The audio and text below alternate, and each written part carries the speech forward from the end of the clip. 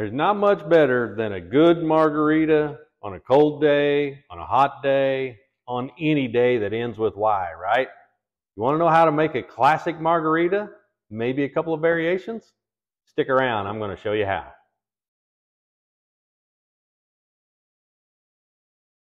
Hey everybody, welcome back to the Speakeasy. Today is National Margarita Day, so of course we're going to make margaritas.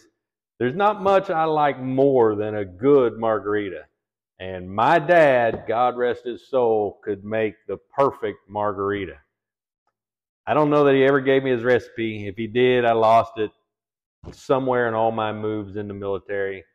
Now, the history of the margarita is up for debate. There's all kinds of stories out there about where it might have originated and everything. One thing's for sure margarita is a Spanish word for daisy.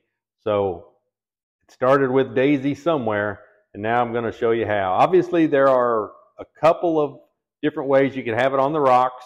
You can have it frozen, or you could have it shaken and then just poured into a glass with no ice, uh, just chilled straight up, if you will. I prefer mine on the rocks um, if you have too much ice in it in the blender, you can get a weakened drink. So I don't like them that way. I like to make the mix, pour it right on the rocks, and have it that way. So let's make some margaritas. Now there are a couple different ways. You know, this is your classic margarita glass. Um, these are pretty. These are uh, fun for you know parties or if you want to sit by the pool. Wouldn't do glass ones. They do make plastic ones. Um, restaurants love these things, especially if you're going to do a frozen margarita or straight up. I would do it like this because this is something uh, that is kind of cool looking and it fits the the motif. Looks kind of more like a tulip in my opinion, but anyhow, that's what that's worth. I just use regular rocks glass for mine. I, I love them in a rocks glass. They're easy to salt the rim. Um, we got another one here. So almost the same size. Make a couple of different margaritas for you today and show you how, how, that, how I do it.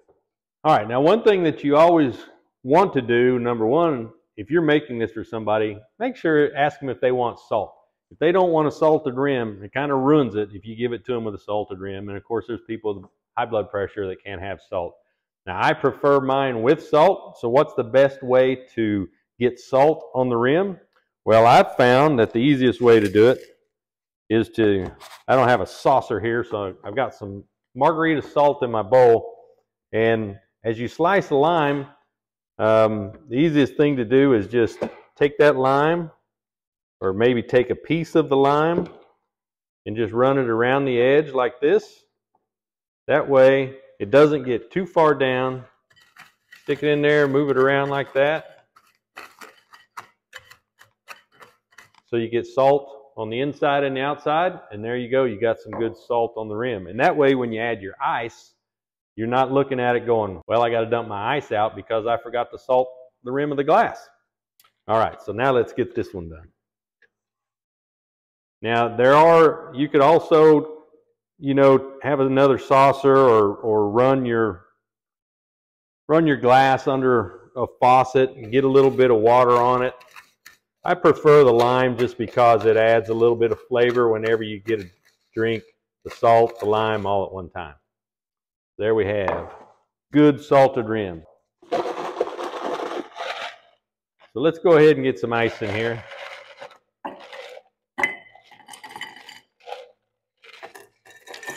You don't want too much ice. Just going to water down the, the drink a little bit.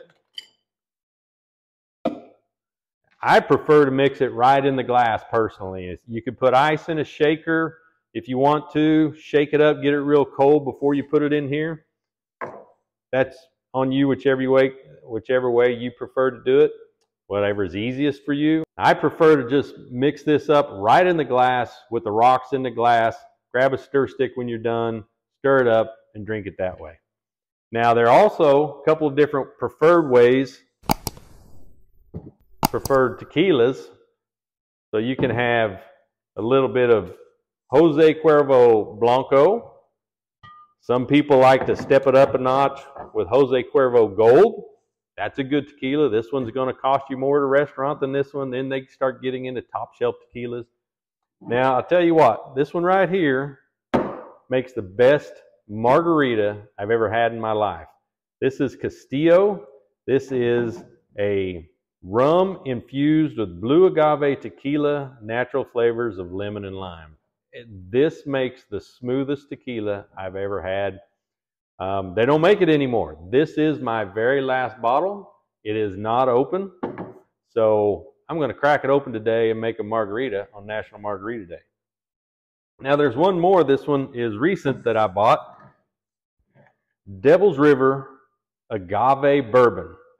I made a margarita with this not too long ago just to try it because this is a very sweet bourbon um, and it's made with blue agave tequila.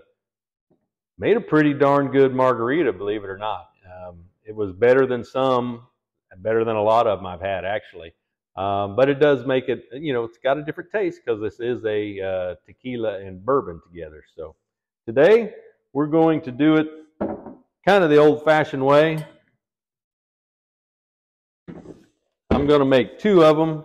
And just because that's colored, I'm going to stick with Cuervo Gold today and Castillo Fusion. Now, the other parts is an orange liqueur. So then you have triple sec, Cointreau, and you can even go with Grand Marnier if you want to. Now, triple sec is just an orange liqueur. Cointreau is another type of orange liqueur. I don't know that it's uh, just um, maybe a different brand. Uh, but Grand Marnier is orange liqueur and cognac. So that puts an even different flavor into it. I'm not going to go with this today. Um, my dad always had triple sec around. He might have preferred Cointreau on occasion. I don't know. So we're going to do one of each. Since we're making two margaritas, right? And then, of course, you have your fresh lime. So you're going to have, according to the International Bartenders Association, they said 50 milliliters of tequila, 20 milliliters of triple sec, and 15 milliliters of lime juice.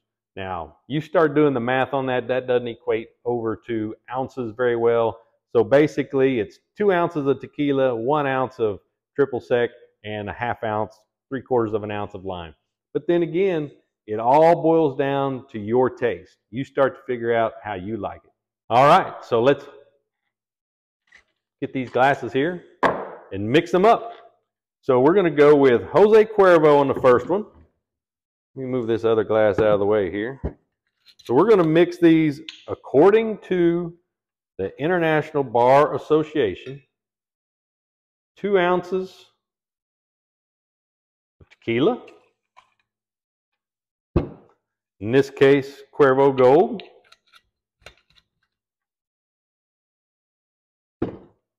I'm going to go ahead and do this one so I can just knock this right off the top here. It even just smells good.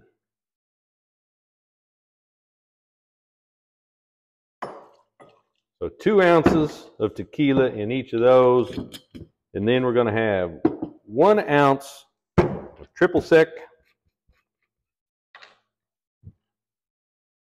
Oops, wrong side.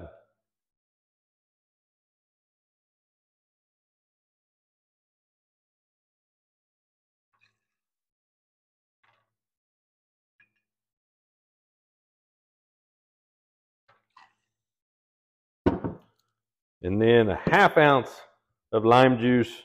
Now I'm just going to use lime juice out of a bottle like this because it's so much easier to measure. And I like using my fresh limes as a garnish. There's a half ounce and a half ounce. A couple of stir sticks. And according to the IBA, that is your margarita. Now, if you want to just compare the color of these, this one even to me looks better. I love a, a drink with a little bit of color to it. But let's try it, see which one's better. Standard old Cuervo Gold margarita.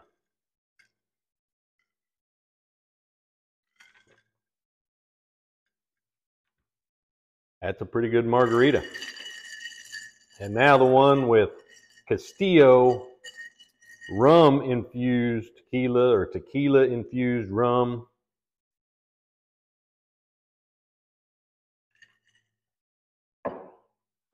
Oh, that's so much smoother to me. I don't know why.